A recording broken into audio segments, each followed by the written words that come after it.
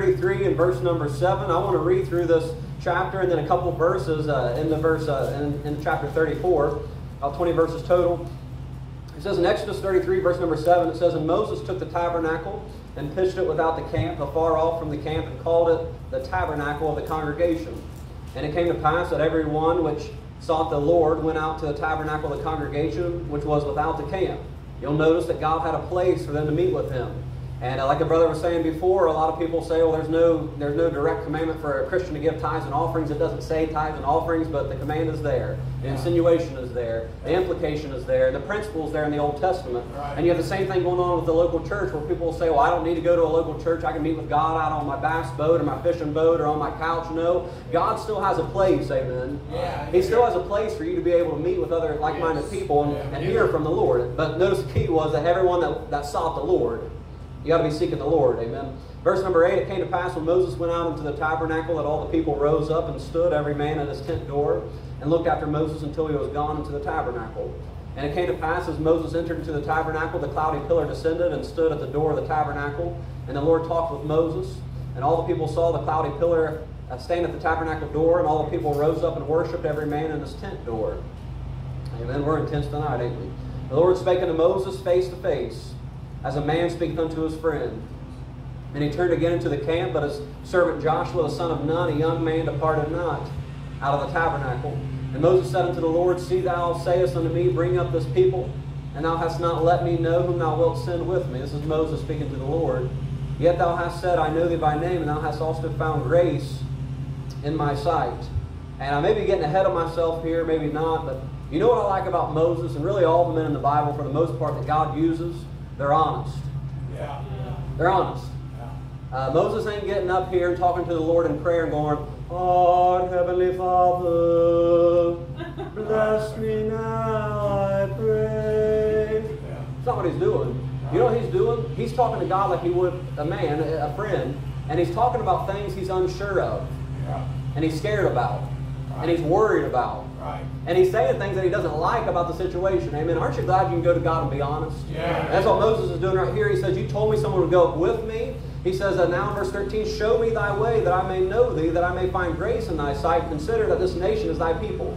And he said, This is the Lord, my presence shall go with thee, and I will give thee rest.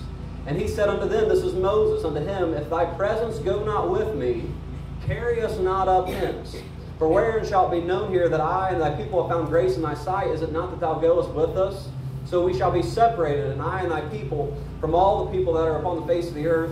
And the Lord said unto Moses, I will do this thing also that thou hast spoken, for thou hast found grace in my sight, and I know thee by name. Look down in chapter 34. Chapter 34, verse 1, verses 1 through 9.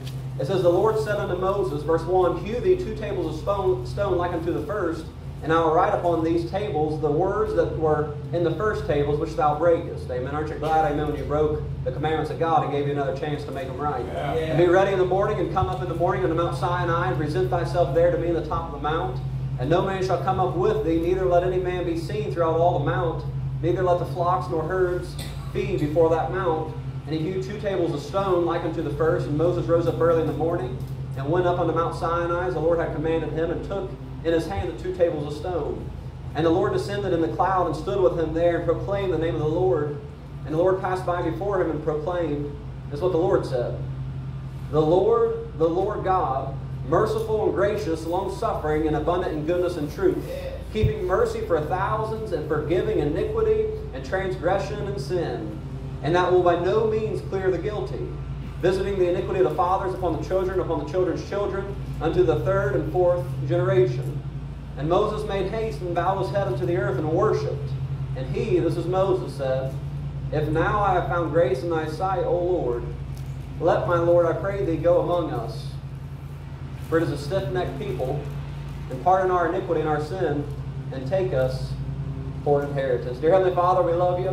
And uh, God, we just thank you for tonight, Lord. We thank you just for the good spirit here, Lord, the sweet spirit. Yeah. And uh, God, I know there's some people in here that maybe they're new to the tent meeting. Maybe this is their first time coming. Uh, God, I pray they feel welcome, Lord. And uh, God, I pray, Lord, there be anybody in our midst that's lost and unsaved and on their way to hell, that's never been born again, Lord. I pray that they would feel welcome. But God, I pray they wouldn't feel comfortable through the preaching and the singing, Lord, that goes on. And God, I pray maybe tonight you prick their hearts about salvation. Uh, maybe there's somebody that's been raised up in church but never put their faith and trust in you, Lord. Uh, maybe it's somebody that's been in church for years and years but never put their faith and trust in you. God, I pray tonight be their night of salvation. But God, I pray for the saints of God, Lord, that came here, Lord, to the tabernacle, to the tent, God. And Lord, they're looking for something, Lord. They, they came hopefully to seek you. And God, I pray, Lord, you give something to them, Lord, from me, God. Not that I'm anything, Lord, but you're everything, God. And I pray, Lord, you do something with this nothing. I pray, God, you anoint me from the crown of my head to the sole of my feet. God, help me to not say anything that'd be displeasing to you. God, I pray, Lord, I'd speak with boldness, meekness, temperance, Lord, and faith. God, help me not to say anything, Lord, that bring dishonor to your name. But God, help your people, I pray, in Jesus' name. And amen. Amen. Amen, amen. Moses here makes a very interesting plea and a beg to God, and it's in uh, verses 15 and 9, verses uh, 15 and verse 33, and verse number 9 and verse 34. Moses makes a plea to God. And we can read it there in verse 15 of chapter 33. He says this Moses says unto the Lord, If thy presence go not with me, carry us not up hence. Yeah. If thy presence go not with me, carry us up not hence. And then look in verse 34, verse number 9. He says this This is Moses speaking to the Lord. If, I found, if, if now I have found grace in thy sight, O Lord, let my Lord, I pray thee, notice this phrase here, go among us. Yeah. Go among us. Moses makes a very interesting plea to the Lord here in his later years in life. Again, he's not a young man, he's not a young buck, and he's not a young whippersnapper. He's not a man that just got started serving the Lord. He's been serving the Lord now for many for, for years, and he's done he's already done great, wonderful things for God. Yeah. And he's here at another stage in his life. His life is full of stages. Uh, life is full of growth and development. Life is full of changes and different different uh, areas of life. And, and Moses is here at this stage in his life, and he, he essentially says this, God, will you please go with me? Yes. Now, ain't that interesting for a grown man to ask God, or to ask somebody else and say, will you please go with me? Yeah. Doesn't he almost sound like a little boy talking to his daddy, getting ready to go out to a, the dark field at night, man? He's a little bit afraid, and he says, Daddy, will you go with me? Kind of what it sounds like. Yeah. It sounds like a young man or a young boy that says, "Man, I just want to know that somebody else is here with me." Yeah. There's a story of a little girl, and she uh, uh, she had all these night terrors and be afraid at nighttime, and her daddy would tell her, "Honey, Jesus loves you," and uh, he, would lay her down at night and say, "Jesus is with you." He'd kiss her on the head and go. He'd uh, leave the door, he'd leave the room, and she'd start screaming, saying, "Daddy, Daddy, come back!" And he'd come in, and he'd say, "Honey, Jesus is with you. Jesus is with you, and uh, he'll take care of you. He'll protect you. He loves you. Good night, honey." And uh, she, he'd go back out, and the same thing would happen. He came in again and he said, he said, honey, he said, not only is Jesus with you, but God the Father's with you. And uh, he said, God the Father's with you. And, and he'd go out there in the room and he'd come back in and, and she'd be crying. He'd come back in and he'd say, honey, God the Father's with you. God the Son's with you. God the Holy Spirit's in here with you. He loves you. And he's here with you. And he went back out of the room again and he comes back in for the same reason. And he goes, honey, I told you. God is with you. And she goes, I know, Daddy, but sometimes you just need somebody with a little bit of skin with you. He said, I, know, I know that they're with me. You know, she, she took off her little spiritual halo. She said, I know that God's with me, God the Father, God the Son, God the Holy Spirit. But she just wanted to know that somebody was with her. Amen. Yeah. And I don't know about you, but there are times in my life whenever I, I, am asking God, saying, God, are you with me? Yeah. Are you with me? And I want to speak about that subject tonight, going on without God. Yeah going on without God. Because, see, Moses said, Lord, if you do not go with me, I don't want to go forward. Right. Amen. We've gotten them out of Egypt. We've been saved. Amen. We've walked through the Red Sea and we've done all those things. And I've gotten your commandments already. But God, and I know that you've done things for me already in my past. But God, I don't want to go any further without you going with me. And that's a good concept for everyone in here to consider. Going on without God, as an individual going on without God, as a church going on without God, and as a revival going on without God. Can I tell you this, Christian, church, Bible believers? You can go on without God. Yeah. Oh, yeah. You can. Yep. God will let you walk. Mm-hmm. God will let you walk away. He's not going to. He's not going to hold you down, hold you by your neck. He's not going to beat you over the head, man. No, He will let you. He's a gentleman. If you want to walk away from Him, you can walk away from Him. If you want to walk on, you can walk on. But I'll tell you this: you are going somewhere in life, yeah. and you're either going where God is or where God ain't. Yeah. I know it ain't good English, amen. But I went to public school and then college, so my English ain't good. Praise the Lord. I need a word processor to spell things right. But you're either going where God is or you're going where God ain't. You are either going with God or you are going forward without God in your life, but you are going somewhere. I want to go with God. Right. Amen. I want to go with God. Wouldn't you hate to go through your whole life only to find out in the end that you were all alone the whole time Wow. and didn't need to be?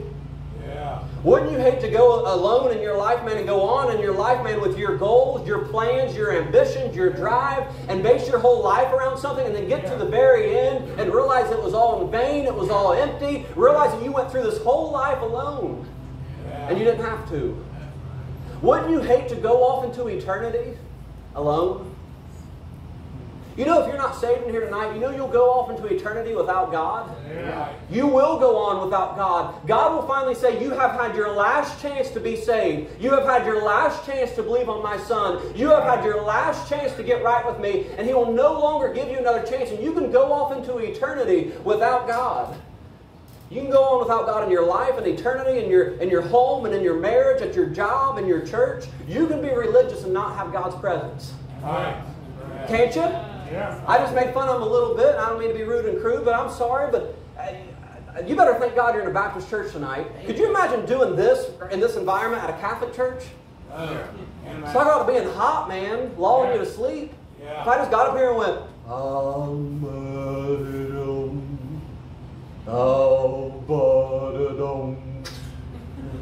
you fall right asleep. Right. You fall right asleep. There's all kinds of religious people, and they don't have God's presence around them. Right. You can go on being religious without God's presence. You can go on being a church without God's presence. You ever wonder how there are people in church, but for some reason they don't seem to enjoy it? Yeah. How about that? Have you ever wondered that? Yeah. Have you ever wondered how you'll be in church, you'll be in a church service, and th- th- they'll get to singing some song about He is the Son of God, Jesus is His name. And you want to say, Aaron, why do they clarify His name? Because in the Old Testament Proverbs it says, Who is His son and what is His son's name if thou canst tell? In the Old Testament they're looking for a son and what his name was, and they said He's, he's the Son of God. And you'll see a bunch of crazy, lunatic, fanatic weirdos, a, a bunch of cult members, man, doing stuff like this. Yeah. You say, who are they waving at? They're doing this, that, and the other. They're standing up and clapping. You saying, why are they doing that? They're enjoying it. Right. God's with them. They're hearing songs about how God was with Daniel. They're thinking that the same God of yesterday is the God of today. And the way that He closed that lion's mouth there for Daniel, He's closed the lion's mouth for me. And they get to read, they, they get to hear those songs, and it does something for them. People start preaching and teaching on the Word of God, and people start saying, Amen, that's right, because there's something inside of them. There is somebody inside of them. Yeah. And whenever someone moves in, you'll get excited when they start talking about Him. Yeah. And then you have other people where all that's going on, they're sitting there going, like I say, my, my, my therapeutic instinct kicks in. And if I see a patient, they're sitting there on the edge of the bed and they're going like this. You know what I do? I go and check their pulse. I see if they're alive. Yeah. And I don't get, man, how you can come into a place with saints of God that are 2024, whenever the average person doesn't give a rip about church, and you're around a bunch of people, man, that are still sticking by the stuff, that are still preaching out of the King James Bible, that still like old time fashioned worship and praise and standards, man. I don't know how you can't get excited. Right. amen. At least wiggle your toe or something in the seat, man. At least put a finger up or two fingers up. Put a hand, do something, man. Yeah. You saying what is that? Some people have God with them, and others don't. And you can be in church and God not be with you. There's not a lonelier feeling in this world than to be around other people and to feel alone. Yeah. Right. Whether it's in your marriage or your home, man, whether you're a child or a spouse, it doesn't matter, or whether you're a Christian in a church, there's nothing worse than being around other people and feeling alone. I don't want to feel alone anymore. Right. Yeah. I felt alone long, long enough, man. I want God with me. Wouldn't you hate, man, to go on without God with you? Now, I understand. I know I'm talking to a bunch of Baptists, and I understand I got to clarify this. I understand in the New Testament, God does not leave you. I get that. Are we good? I know some of you are closing your Bibles up saying, I'm not listening. He's talking about he's been around those free will Baptists for too long up there in Columbus. He thinks you can lose your salvation. No. I understand the Old Testament, God's Spirit could come upon a man and leave him like he did Samson. David said, Remove not thy spirit from me. I know that Moses here is talking about God's presence. I understand that God said he would show up physically one day in the Old Testament, and he did through Jesus Christ. I understand that he said in the Old Testament book of Joel, and then Jesus said in the New Testament, I will show up to you in my spirit, and that's the Holy Spirit. I understand that the promise of the sealing of the Holy Spirit in Ephesians 1 chapter 13, he says, whereby you are sealed until the day of redemption. I get that. Yeah. I get a New Testament saint is sealed. They are sealed. You can't do nothing about that once you get saved. Amen. Yeah. Don't tell your Calvinist friends. They'll say, "Oh, you said you can't do nothing about that, right? You believe in irresistible grace." No, I didn't say that. I said once you are saved by free will, Yeah. you can't do nothing about going to heaven. You're going to heaven. Amen. But I will say this: a New Testament believer in a church age does not lose his or her sealing, Right. but they can and they do lose from time to time their filling, Right. and that is a Pauline epistle doctrine. Yes. Right. In Ephesians chapter 3, 19, his prayer for that great church at Ephesus was, I am my prayer for you, wherefore I cease not to give thanks for you, making mention of you in my prayers. And he goes on through his prayer list for them. And then he says that you would be filled with all the fullness of God. Yeah. Yeah. Why would Paul pray for something for them to do something if they already had it? Right. Yeah. Why would he say my prayer is for you to be full if they were already full? Right. He says over in Ephesians chapter 5, 18, be not drunk with wine wherein is excess, but be filled. That's a commandment. Be filled with the Spirit of God. Yeah. Yeah. In Philippians 1, 4, or 1 11, he says, being filled with the fruits of righteousness. Now, if we're being honest, like I always tell people, take your halos off, put your angel wings in for just a minute for me. Could you say 24 7 you're filled with righteousness? 24 7. Uh, You ain't never had someone cut you off in traffic and you thought some things where, boy, for just five seconds I could lose my salvation to get it right back. There's some things I like to say and do, and then you remember you got KJV bumper stickers on the rear of your car. And you smile at them like this.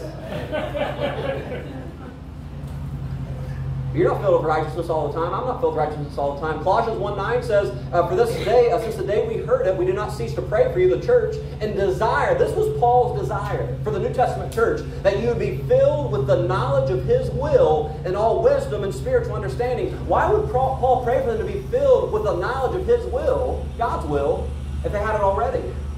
Because they didn't have it. There's a difference, and I didn't go through the book of Acts because I'm among Bible believers. As soon as you say the book of Acts, I go, well, well, well, hold on now. It's a transitional book. I understand that. So we'll ignore the 10 different times that says the New Testament church was filled with the Holy Ghost, filled with the Holy Ghost, Yeah. filled with the Holy Ghost, Yeah. filled with the Holy Ghost, filled with the Holy Ghost, filled with the Holy Ghost, filled with the Holy Ghost, filled with the Holy Ghost. Yeah. It was pretty important for the New Testament church. Right. But there's a difference between being sealed and being filled, and there's a difference between being saved and full of the Holy Ghost. And I believe this tonight, church. I, I truly do believe it. And I know I'm, I'm addressing a topic that I can't fulfill. I can't totally lift it up. I can't totally expound on it. And I'm just going to barely scratch the surface to it. And I understand that. But I believe the majority of Christians today, and I even go as far as to say this maybe half the Christians in here, but the majority of Christians today in the church across the world are not filled with the Holy Spirit. Right. And I'd say about half the folks in here aren't either. The last church in Revelation was having church services with Jesus on the outside. Yeah.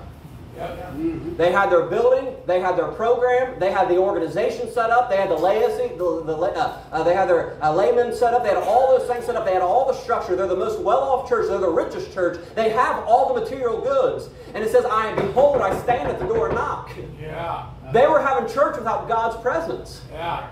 Yeah. Paul asked the church at Corinth, he said, Know ye not that your body, uh, uh, that ye are the temple of God, and that the Spirit of God dwelleth in you? And then he tells them, Examine yourselves whether ye be of the faith, prove your own selves. Know ye not your own selves how that Christ is in you, except to be reprobates? They didn't know. Right. They didn't know that Christ was in them. and I'm asking you this, this this evening, Christian, is Christ in you?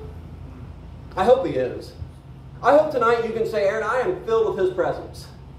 Here's a quick test for you. This is an inward test. Take your own test. Don't look on anyone else's paper, man. Don't cheat. Don't look across the aisle. Don't look at any, pew- don't look across the pew or anything like that. Don't think about something, something, someone else in your head. But here's a quick little test. If you're filled with the Holy Spirit, you'll be filled with Jesus Christ. You'll love some things. You'll love number one, His Son. Yeah. Yeah. You will love Jesus Christ, and like he said before, you'll want to talk to Him. Yeah. I talked to my wife this morning before I left for work. I sat down with a cup of coffee. I ate my breakfast bar. The children ate their uh, breakfast. And my wife and I talked for about five, ten minutes before I left. I texted my wife while I was at work today. I talked to her on the way down here. I'm going to talk to her on the way back up. I'm going to talk to her whenever I get home tonight. You say, why? I love her. Yeah. Yeah. Do not give me this baloney Yeah. Right. that you can wake up and live a whole day without reading and talking to your husband, your Yeah. bridegroom. Right. Yeah. Don't give me that. I don't have time for it. You don't have time for him. Right. He literally died for you. Right. He gave everything for you. You don't have time to spend 10 minutes talking to Him. Right. Do you love reading His Word? Do you love praying to Him? Yeah. I'm asking you if you're full tonight. My wife doesn't have to poke and prod me to talk to her. And if she does, you want to know why? I've got other things on my mind that are more important to me than her. And you want to know why you won't get in this book and you will not pray? And it's because there are things that are more important to that heart that's beating inside of you. And that heart right now is beating, and your mind is saying, Don't worry about it. And your heart says something's wrong. And your mind says, No, it's not, it's fine. And your heart says, Yes, I feel something that is going on inside of me. Romans 2.15, their thoughts, the meanwhile, either accusing or excusing themselves. Yeah. God starts speaking to your heart, and your heart, out of the abundance of the heart, the mouth speaks. And the, the heart is deceitful above all things. God speaks to your heart first. What happens is, is that you have the mind of this world right now. Or you, if you're saved, you no longer have it. But your mind will start saying, no, it's okay. You'll start excusing yourself. Yeah. And saying, it's okay. It's okay that I'm doing that. And you'll start reasoning among yourself. Do you love reading your Bible? Do you love praying? Do you love church? Yeah. Do you love church? You say, Aaron, I don't do it. Church is okay. It's kind of boring, this, that, and the other. Man, you know what you ought to do tonight? I'm going to give advice from Brother Jack Wood. So, another cover your children's ears. You know what Jack Wood said to his church? He goes, he goes, you know the problem with some of you? He said, you need to go out tonight and just get drunk. Get in a bar fight, get your face beat up a little bit, wake up in a jail cell, tomorrow, jail cell tomorrow. He goes, maybe you'll enjoy coming to church. Yeah. Ain't nothing like waking up in a jail cell with a bloody nose and a bruised eye you can't half see out of, and all your money's gone, and your breath stinks, and this, that, and the other, and you got stuff on you that you don't know what it is. Yeah. You know, being in church, I'd rather be here tonight than anywhere else. Amen. I, I think this is unbelievable. Yeah, yeah. Not because I'm up here preaching, man, but I, I'm, I'm in church right now. Yeah. I know where I was. Yeah. I know where I could be. Do you love coming to church, man? Do you love coming to church? Do you love the saints? Do you love the Son? Do you love the Scriptures? Do you love the uh, the saints of God? Do you believe God wants to do something? That's a good test to figure out whether or not you're filled. And the question comes up, back to Exodus 33, the question comes up, why did Moses ask this question? Why did a grown man that's nearly 80 years old say, God, are you going to go up with me? Two reasons quickly. Maybe number one, it was right after Exodus 32. What happened back in Exodus 32? They made the golden calf, remember? He's up there praying on the mountain, and they come back down, and Joshua, his right hand man, uh, Joshua, the minister of the Lord there, minister of Moses, uh, they come down that mountain, and Moses says, What's going on down there? And Joshua says, It's war, there's battle. And he goes, No, Joshua, it's not battle. He said, They're playing down there, they're playing music. The people sin and they ask for an idol. Aaron agrees, Moses' brother and right hand man. And Aaron not only makes them an idol, but I don't know if you ever noticed it, Aaron makes them all naked on top of it. Yeah. Holy Ghost puts that in there in parentheses back in Exodus 32. Aaron confesses to Moses what he did. If you go back there and read it, in parentheses, the Holy Ghost puts in a parenthetical thought. He says, For they were all naked, for Moses or Aaron had made them naked. Yeah. Usually people won't tell you the whole truth and nothing but the truth. They'll leave a little bit out. Amen. Yeah. And uh, Aaron blames everyone else. He says the people, the people, like Adam did with Eve. Moses burns the calf, grinds it down to powder, makes them all drink it. How do you like that for church discipline? Amen. Makes them all drink it, and Moses has the Levites slay everyone who is not on their side. Could you imagine if the pastor stood up tonight? All right, here we go. Here's a line right down the middle. You're either with Bible Believers Baptist Church or you're not. And if you're not with us, Brother Ed, Brother Richard, I want you to take out your. Well, I'm not going to say what to take out. I mean, you just keep those concealed right now. Praise God. You got to be careful saying take those things out. Oh, look them out in the heartbeat. Praise God. Anyways, imagine if you said that. That's what Moses said. He said, kill them if they're not with us. Yeah. You better cut off people in your life that ain't getting you closer to God. Right. Maybe Moses was scared that God was angry with them, and his fear of disappointing God made him afraid that God was going to leave him. You know, fear of disappointing God is a good motivator to live right. Right. You ought to be afraid of God. Yeah. You ought to be afraid of Him. You ought to be afraid of disappointing Him. You say, why? Because I love Him? Yeah, that too. Because you're afraid of Him messing you up, man, if you do wrong. And people say, well, I don't think you should be afraid of God, man. I don't think you should just, I don't think you should live for Him just because you're afraid of disappointing Him. Well, you don't apply that to anywhere else. Your teachers, your boss, your coaches, your spouse, man. You don't want to disappoint them either. Right. Moses was likely scared that he disappointed God and that God's people disappointed God. He was afraid that God would not go with them. If you have sin in your life that you know God is not pleased with, you know what you can do tonight? Come down to an altar and say, God, are you still with me? You still with me? Because I've done some things that I shouldn't have done. God, are you still with me? It may be number one, not only because he was afraid of what happened, maybe it was because it was after Exodus 33. We didn't read verses 1, 1 through 11 or all those verses there. But God had just spoken to Moses. Maybe Moses asked this question. He was afraid of disappointing God. Maybe it's because he had just spoken to God face to face as a man speaketh to a man with a cloudy pillar around. And it was so wonderful and so supernatural that Moses' face literally shone and it scared the children of Israel. Moses has to come down. My mother gave me this. It's a cold washcloth. He had to come down off that mountain like this.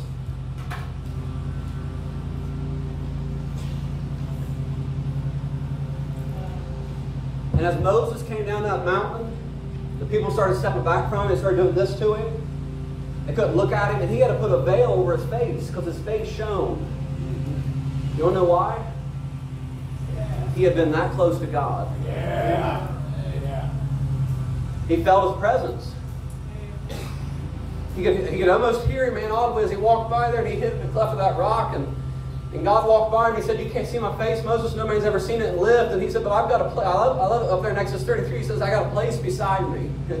if you're in Christ, you're beside God. And he said, There's a place beside me in that, in that cleft. And he goes, You go hide yourself in that cleft, man. Go get down there in that cleft, Moses. And he goes, And I'm going to walk past you. He said, You can see my hinder parts. And, and Moses looked there and he just saw, I don't know what he saw, man, but he saw something. Yeah. And he felt something. Yeah. And he heard something. And maybe the reason why Moses asked God, saying, God, are you still with me? Because Moses never wanted to lose that feeling. Right. Amen. And I'll tell you this, Christian, if you ever get that close to God, you won't ever want anything else. If you ever get close enough to God, man, to feel His goodness and to feel His forgiveness and to almost hear it, I know we don't hear it audibly. I never will forget, man, March uh, or May of 2016, I think it was. I was driving back, man, from this meeting on a Sunday night. I was in, I was in tears the whole time driving back. As soon as I left, I was in tears, crying. And I was driving up 62, and I, I stopped off at that exit there. I went into Speedway, and just tears rolling down my eyes under conviction. I called my dad and said, I don't know what's wrong with me. And he did what all dads do. He makes you feel stupid. Amen for asking. He goes, son, you're under conviction. Act like I didn't know. I don't know what's going on. I'm just crying uncontrollably. I must have had a, a cafe mocha latte or something. One of those feminine drinks at Starbucks. Making me emotional.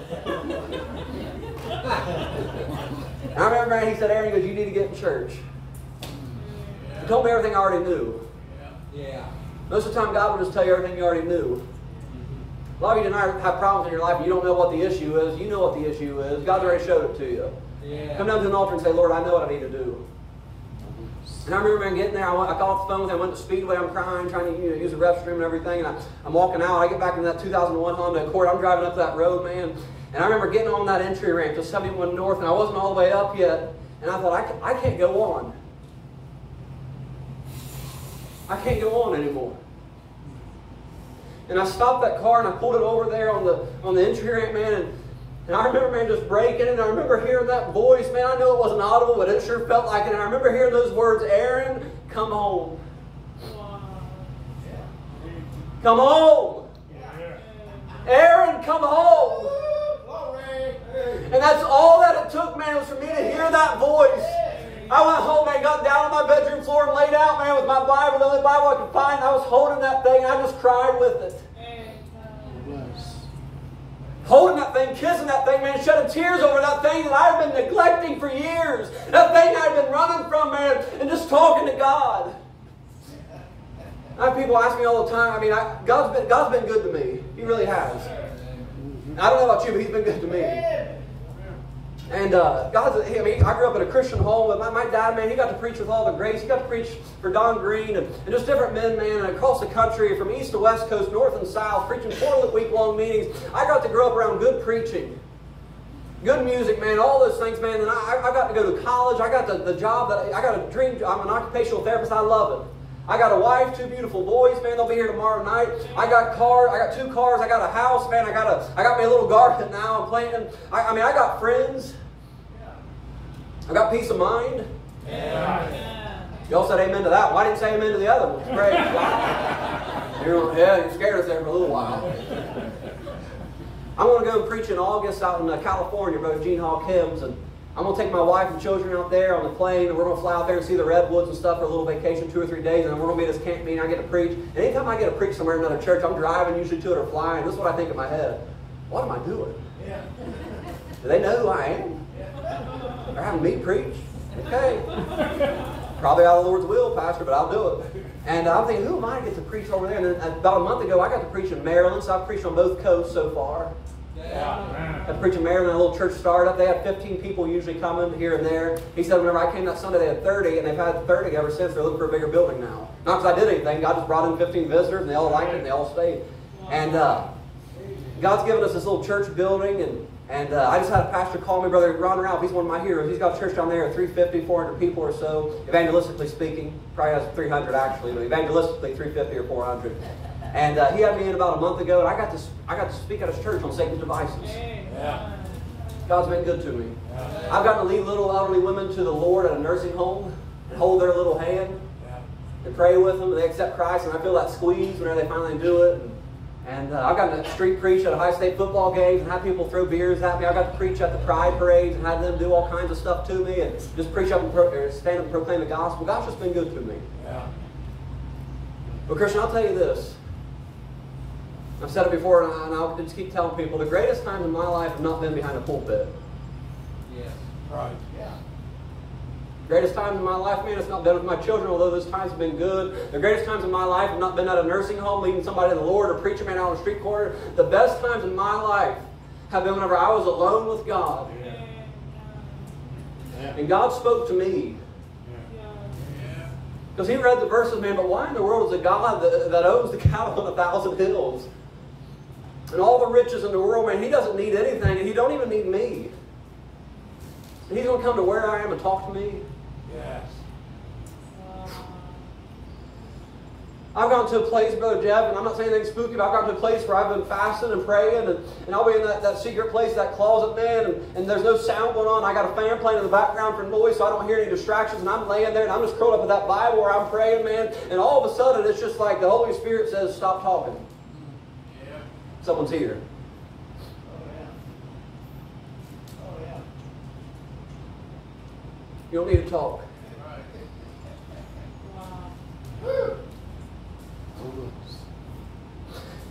And you just let, the greatest form of worship, man, is laying prone and not saying anything. Yeah. You say, what does it for you in the Christian life? That. Yeah. that. Whenever I know God is with me. And you know Moses had God's promise that he'd be with him. You know he asked as an old man? He says, Lord, are you still with me? You know what you could ask God tonight and say, Lord, am I going on without you? Maybe you've been going on for days without him. Maybe weeks without him.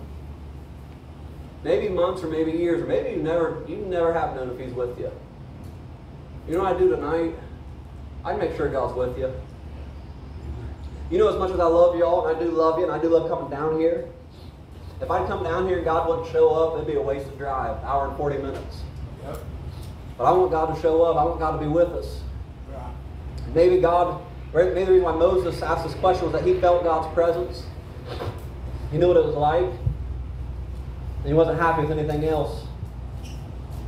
He wanted God to go with him. Emmanuel, God wants to be with us. Emmanuel means God with us. God promised He'd be with us. He wants to be with us. He said in Proverbs 124, He says, I have called, but ye have refused. I've stretched out my hand, and no man regarded, meaning I've reached out to you, but no man took my hand. And Isaiah 66, I believe it is, or 64, verse 6, I can't remember, he says, No, there's no man that stirreth up himself to take hold of me. Yeah. You know what God's doing tonight? He's laying a hand out, and He's saying, I've stretched out my hand for you. You know what the saddest truth is in the Word of God is that God wants to spend more time with you and me than what we want to spend with Him. Right. And God's saying, America, Yes, sir. Yeah. here's my hand.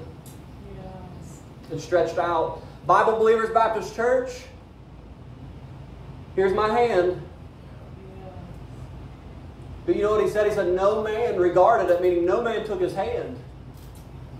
You know Christ's hands tonight, sinner, are still outstretched. Yes, sir. Amen. And you want to know why I can't save you? And this pastor can't save you? And a Baptist denomination can't save you? Or a priest can't save you? We don't have the scars in our hands to save you. But there's somebody tonight, man, where he doesn't have a, a, a watch on. All that he has on his hands are two scars. Amen. You know what they're saying tonight? They're saying, I'll go with you. I'll go with you. Yeah. Emmanuel means God with us. God wants to be with us. Yeah. And I understand that a Holy Spirit never leaves a Christian. I understand that we're sealed, but you can quench and grieve him so much that he no longer strives, he no longer talks with you. You can become reprobate in your mind, man. You can get to a place where you're past feeling. The Bible says uh, spiritual hypothermia. I believe you preach it. Hypothermia, you get you finally get to a place where you're freezing to death, where you can't feel anything. Neuropathy in your feet, man, and in your hands. It's a dangerous thing. Whenever you can't feel those things, you can get burns and you can fall. It messes up your balance and your walk when you can't feel anything. Depression. People get to a place where they don't, have, they don't feel their emotions anymore. That's a dangerous thing to not feel, feel anything. It's a dangerous thing. I, I've, I've only been pastoring for two years, not even two years. And I've had to counsel more couples than ever before. I've never even really counseled couples before. I always counsel single folks and younger folks. And uh, I've had couples, man, I've talked to it, and I don't, I don't put all their business out there, but they sit there and they, they tell you stuff that happened, and you go, wow.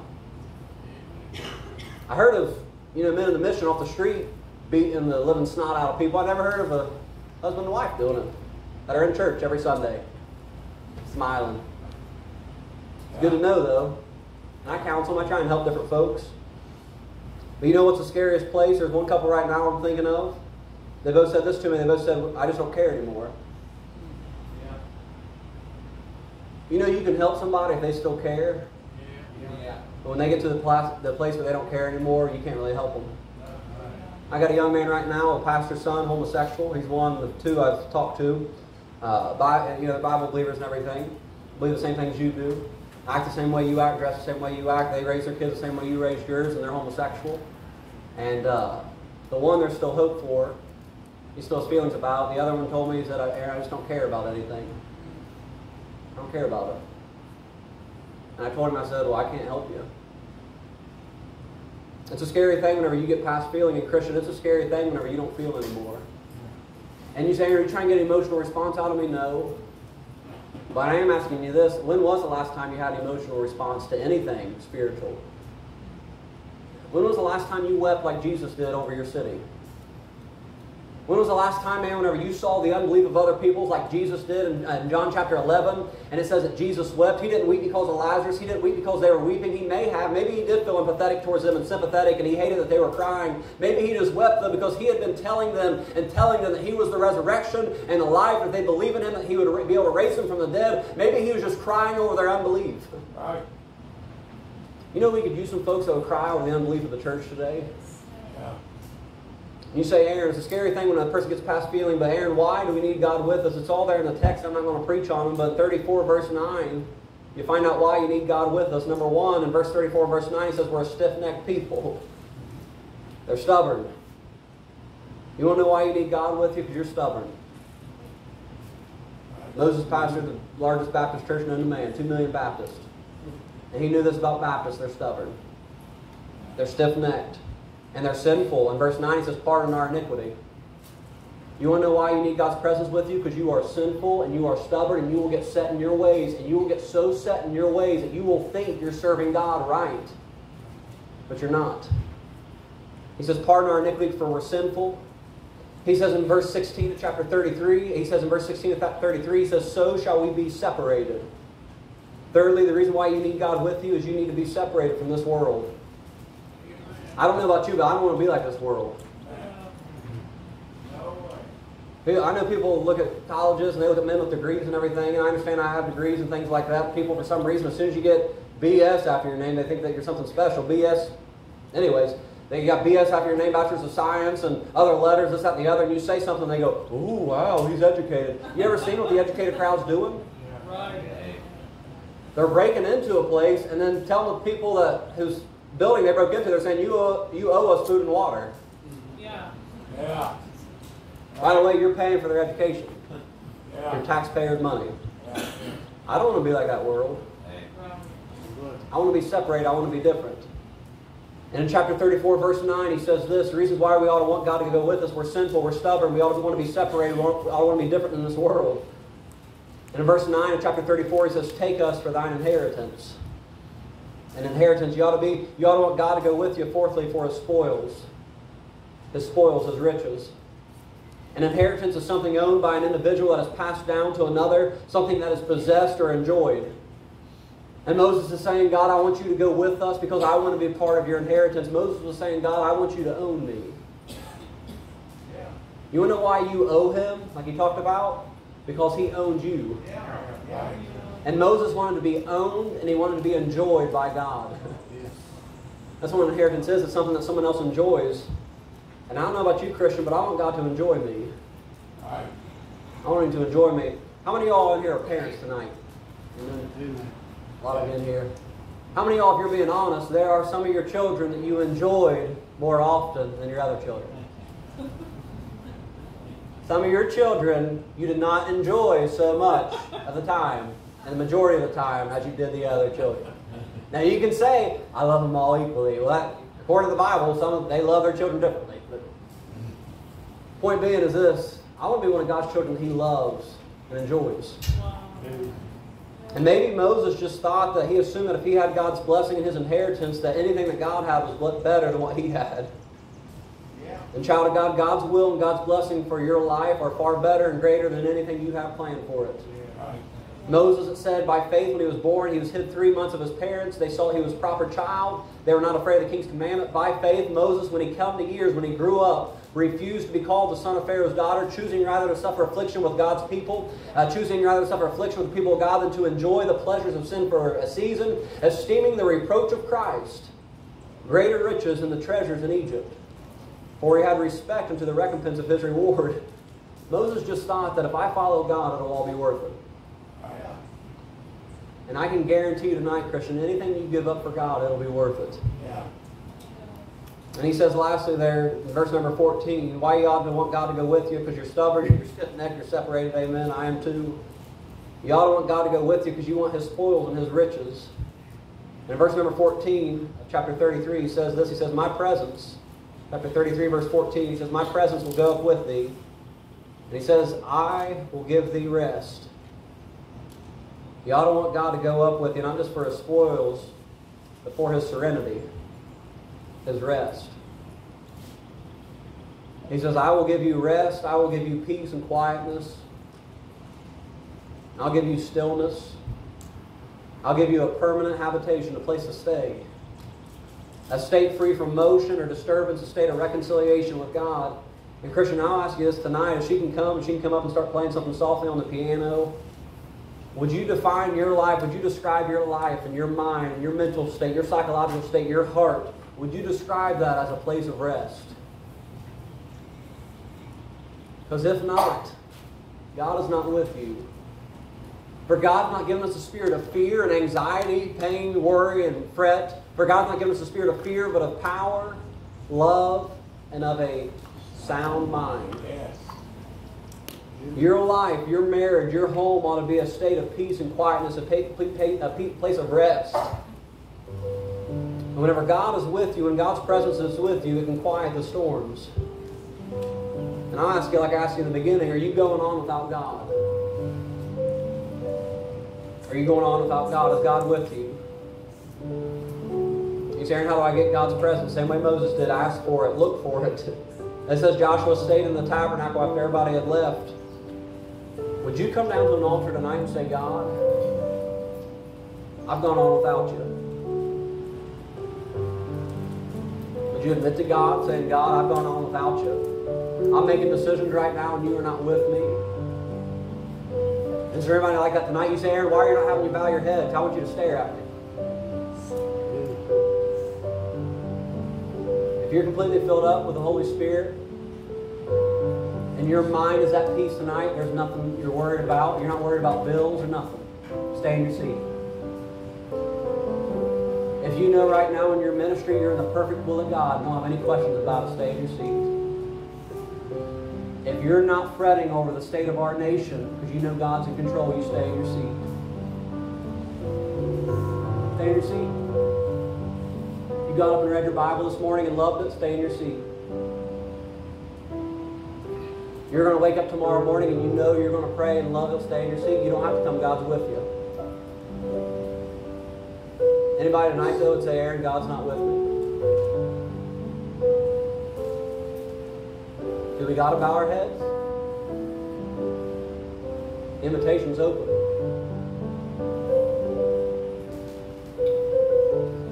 You know what Paul or Stephen said?